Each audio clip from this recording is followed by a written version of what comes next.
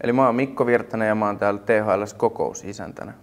No, tämähän on aika iso paikka ensinnäkin, että tota, ainakin kokoustilojen puolesta täältä löytyy noin 50 kokoushuonetta ja sitten vielä semmoista isommat seminaarisalit. Päivän aikana puheluita tulee kyllä tosi paljon. Että joskus mä oon niitä ihan, ihan laskenut ja pitänyt niistä ylhä, ylhäälläkin, että saattaa olla, että on tullut niin kuin joku 40 joskus päivässä. Tyypilliset ongelmat on semmoisia, että tota, pitää vaan laittaa joku yksi johto kiinni tai ehkä painaa jotain yhtä nappulaa tai osaa painaa niitä nappuloita tietyssä järjestyksessä, mutta tota, harvemmin mikään sit oikeasti on niin kuin ihan niin kuin rikki.